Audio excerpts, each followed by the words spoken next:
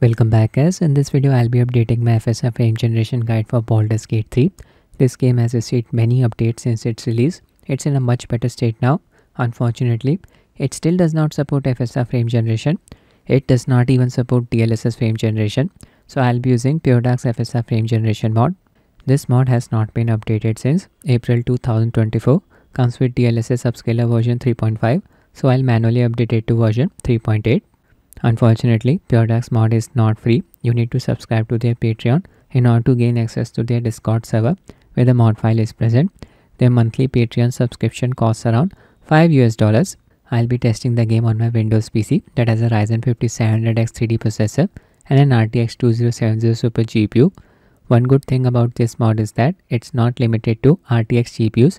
You can even use it on AMD GPUs I have tested the mod on my ROG Ally that comes with AMD Radeon 780M GPU. Just make sure you have connected your Discord account to your Patreon account. After subscribing to PureDark's Patreon page, you'll automatically gain access to their Discord server. This is what it looks like. Just click on downloads here, then click on BG3 Beta Access. Scroll down to the end, download the latest version FSR3 Build 02. Click on the view link. Here they have provided the installation instructions for the mod. I'll quickly go through them.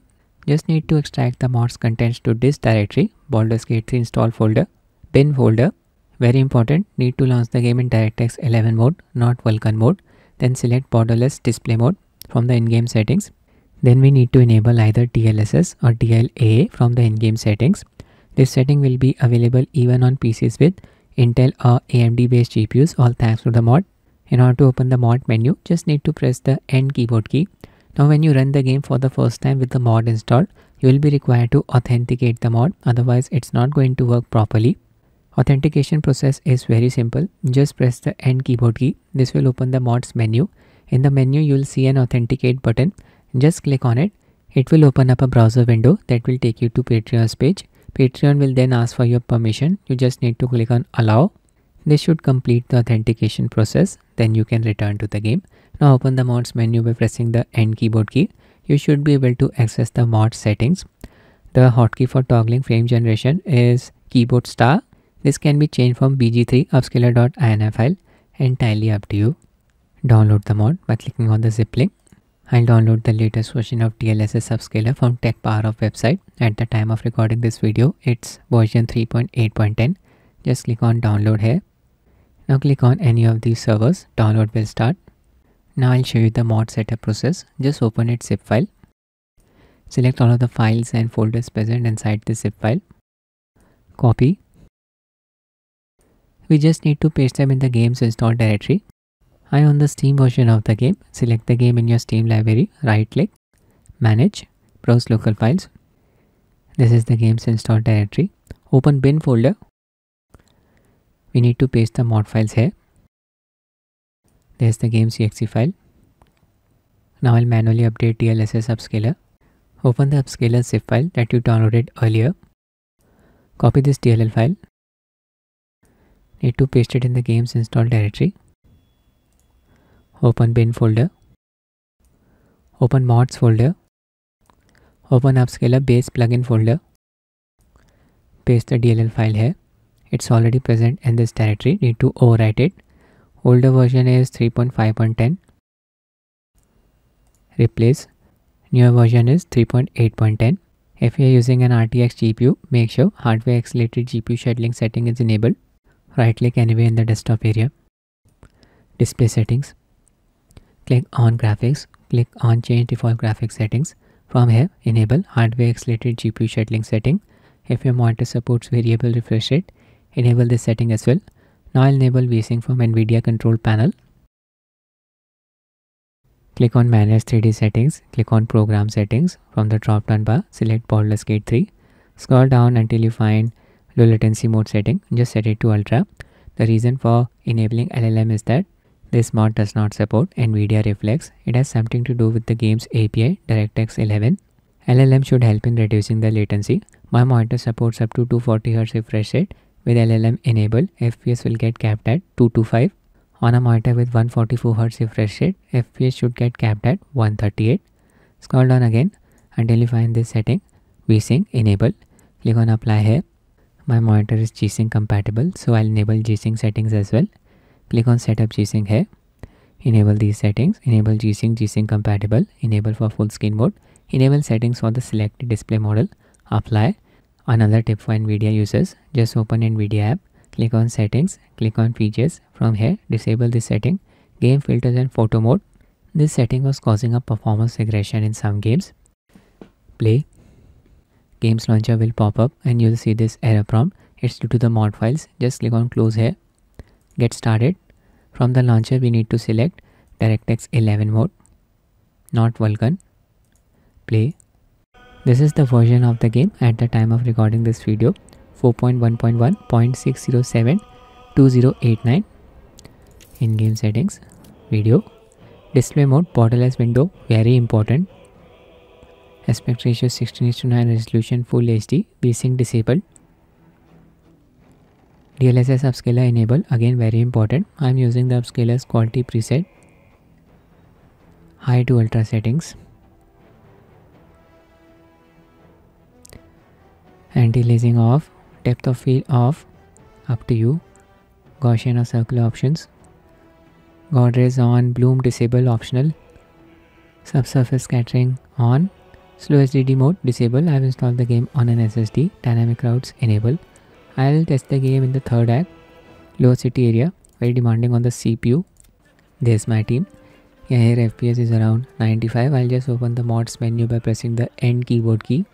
Pause the game first. I have already authenticated the mod so I have access to all of its settings. From this drop down bar, we can select the upscaler this mod supports DLSS, XeSS and even FSR3 upscalers. I'll stick with DLSS 3.8. DLSS preset can be changed from this drop down bar. Preset F is selected by default. It's recommended for DLAA but I'm using upscalers quality preset so I'll just use preset E. Frame generation and hotfix settings disable for the time being. Show the base performance. Base resolution 720p upscale to full HD.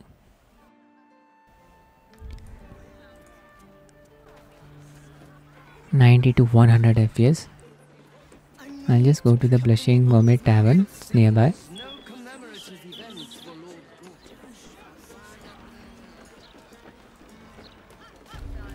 I think it's a true shame check out the CPU usage for the individual threads CPU 1 usage is close to 80% lot of non-playable characters here I triggered a cutscene by mistake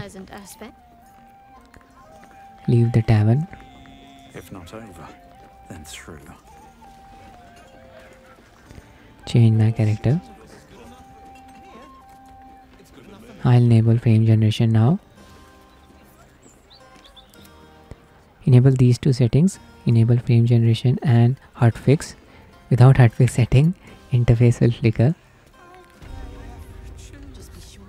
Back to the game. Yeah, FPS increased to around 150 can observe the added amount of smoothness it's buttery smooth game's HUD elements are not flickering not observing any artifacts around the character models zooming in no issues with the text as well. I keep triggering these cutscenes. I'll trigger an explosion now. Just need to get close to that house. Keep an eye on the fps counter. Fps is going to tank. there you go. Drop down to 95 for a second. That's about it fps increased to 130 again. I'll check another spot a crowded area. Go through this alley.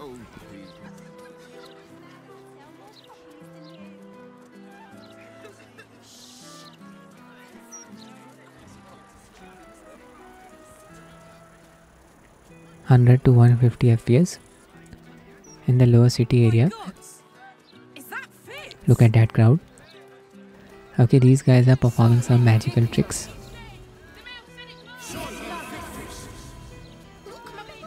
Good performance even here.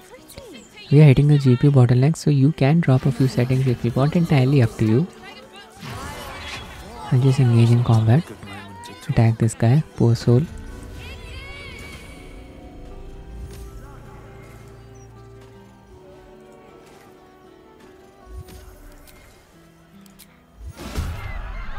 combat started. Top down view. Even here fps is around 140 on the higher side. So PureDark's FSR 3 mod still works properly with the latest version of Baldur's Gate 3 and you can manually update DLSS upscaler to version 3.8 that's it for the video guys. I hope you find it useful. Thanks for watching and have a nice day